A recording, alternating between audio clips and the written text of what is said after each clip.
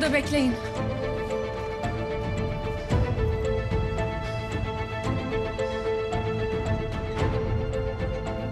Görüyor musun bak? Bu adam nelere sebep oldu görüyor musun? Adını bile anmayacaksın. Harika. Unutacaksın. Öyle birini tanımadın sen tamam mı?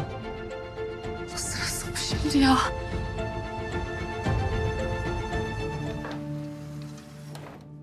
Ne oldu iyi mi?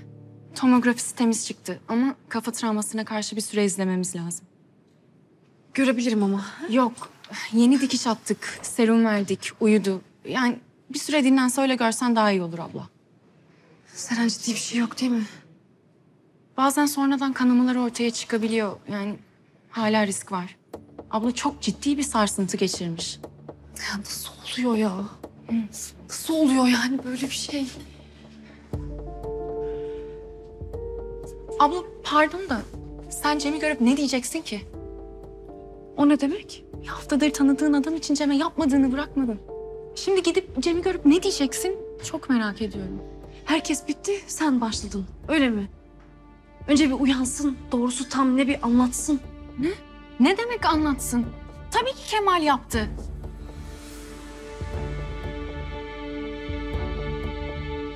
Sağ ol hala.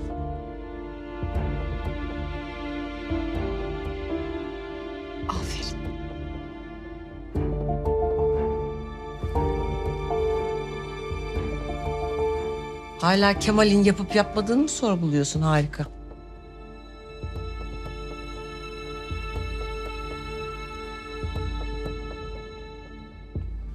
Ben biraz hava alayım.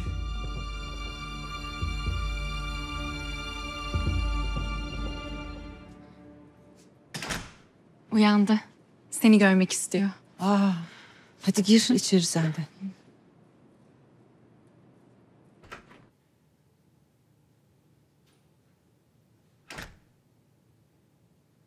Harika. Yorma kendini. Nasıl oldun? Çok ağrın var mı? Biraz. Cem... Nasıl oldu bu? Bilmiyorum. Yani o kadar ani oldu ki anlayamadım. Kendimi savunamadım bile. Harika ben seni görmeye gelmiştim konuğa. O herifle konağın girişinde rastlaştık. Harika. Bak o adam psikopatın teki. Ama neyse ki rengini belli etti erkenden. Ya sana bir şey yapmış olsaydı? Yani Kemal böyle bir şey yapacak biri değildi. Ben anlayamıyorum şu an açıkçası Cem. Nasıl yani? Harika benim sana yalan söylediğimi mi düşünüyorsun? Hayır öyle bir şey demiyorum tabii ki de. Bu adam çok tehlikeli. Ama bu yaptığı yanına kalmayacak. Anlıyorum çaresiz. Anlıyorum. Sevdiğin kadın tarafından terk edildin. Bayağı canını yakmıştır. Çekil dışarı. Sen herkesten önce kendine zarar verdiğinin farkında değil misin Cem? Kes sesini çık dışarı. Sen gerçekten bu kadar aciz misin? Gerçekten sevilmek için böyle mağduru oynamaya ihtiyacın var mı senin Cem? Sana ne lan? Sana ne? Harikanın peşini bırakacaksın. Anladın mı? Harikanın peşini bırak. Her kalp kendi içindeki çiçeğin kokusunu verirmiş. Dikkat et, harika senin kalbinden gelen o kötü kokuları almasın.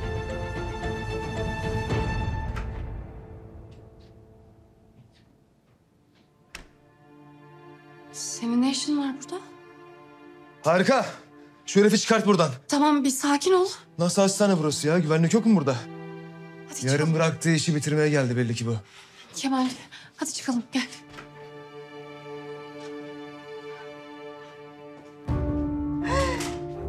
Katil burada. Katil burada polis çağırın. Müjde Hanım bir Polis gelecek buraya. Güvenlik gelecek buraya. Müjde Hanım bir sakin olun lütfen çıkıyor zaten Kemal. Ne Hadi. sakin olacağım ya. Adam yarım bıraktığı işi tamamlamaya gelmiş. Güvenlik. Güvenlik yok mu?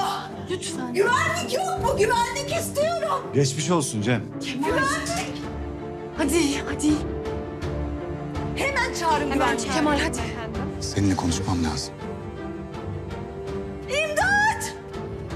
İmdat! Bir şey yok, bir şey yok. Gidiyor zaten beyefendi. Gel benimle. Bu kapıda güvenlik olacak. Ne oluyor? Dilgon Naharı mı burası? Adam elini kolunu sallayarak dolaşıyor ortada. Ne oldu? O adam geldi. Oğlumu bu hale getiren adam. Az önce de harikayla çıkıp gittiler. Ben bir bakayım. Aa, sen dur. Anlaşıldı mı? Burada durulacak. Tamam efendim. Burada durulacak. Ayrılmayacaksınız buradan. Ben Cem'e bir şey yapmadım Süreyya Hanım. Bence siz de bunu gayet iyi biliyorsunuz. Boşa nefes tüketiyorsunuz. Size inanmıyorum, inanmayacağım da. İnanmamak gibi bir huyunuz olduğunu fark ettim. Ben sizin güveninizi sarsacak hiçbir şey yapmadım. Ama belli ki babam yapmış. Doğru mu? Konumuz bu değil şu anda. Size bir şey açıklamak zorunda da değilim. Buradan gider misiniz lütfen? Ayrıca harikanın etrafında dolaşmanızı da istemiyorum Kemal Bey. Harika kendi kararlarını kendi verebilecek yaşta Süreyya Hanım. Eğer benimle görüşmek istemezse onu zorlayacak değilim. İstemiyor, istemeyecek. Lütfen gider misiniz buradan?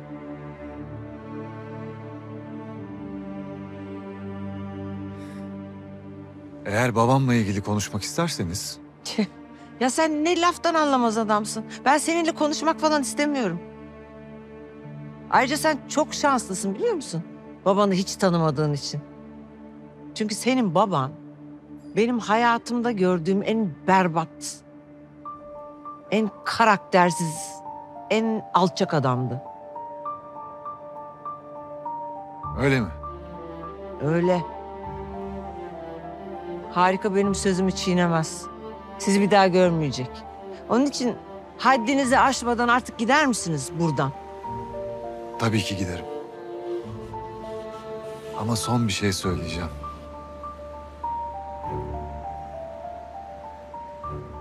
Babam size ne yaşattıysa belli ki canınızı çok yakmış. Ama içimden bir ses sizin de onun canını çok yaktığınızı söylüyor.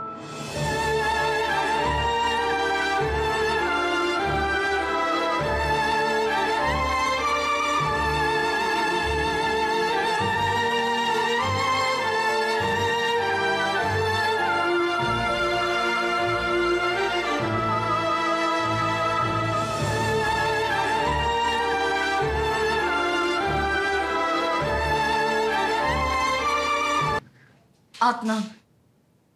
Cem, Baba ben iyiyim. Oğlumuz iyi çok şükür Adnancığım. Ucuz kurtulduk ama söyleyeyim yani. bu mu iyi? Oğlum, adam seni benzetirken senin elin armut mu topladı? Durup bekledin mi? Adnancığım aşk olsun yani. Ya o adam işinin profesyoneli. Kalkıp çocuğu ne hale getirmiş baksana. Haydut be o. Belli. Avukat dışarıda, polis de çağırdık. ifade vereceksin. Tek bir şey atlamadan anla, tamam mı? Bu herifin ipini çekerim. Bizim halimize bulaşmak neymiş görsün. Görsün. Baba ben ifade vermesem şimdi. Niye oğlum? Kendine gelmişsin işte. Vakit kaybetmeyelim. Müjde. Ben başhekimi bir göreyim. Sen de bana yiyecek bir şeyler ayarla. Her şeyi güzelce anlat, tamam mı? Tamam canım.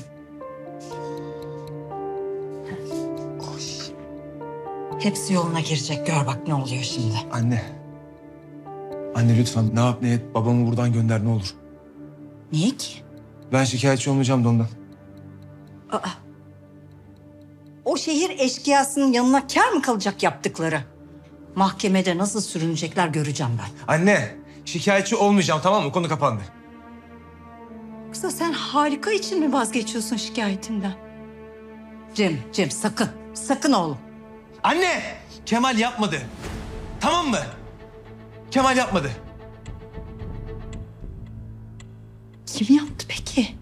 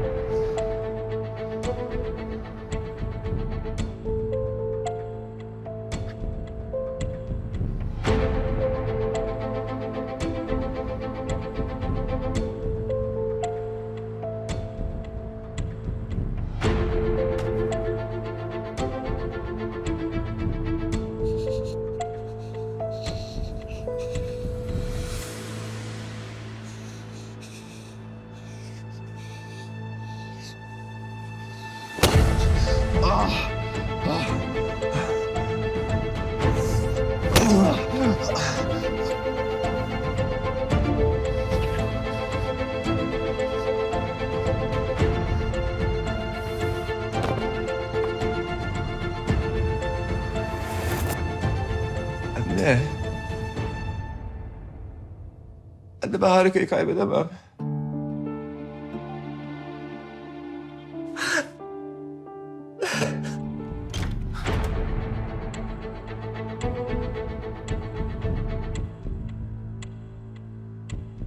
Süreyya.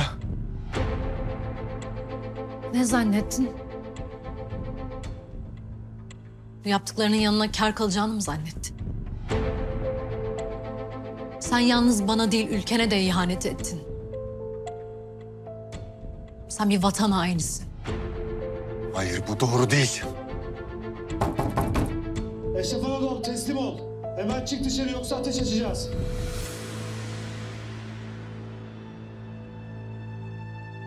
Git. Git yoksa öldürecekler seni. Şu an zaten öldüm Süreyya. Tetiği de sen çektin.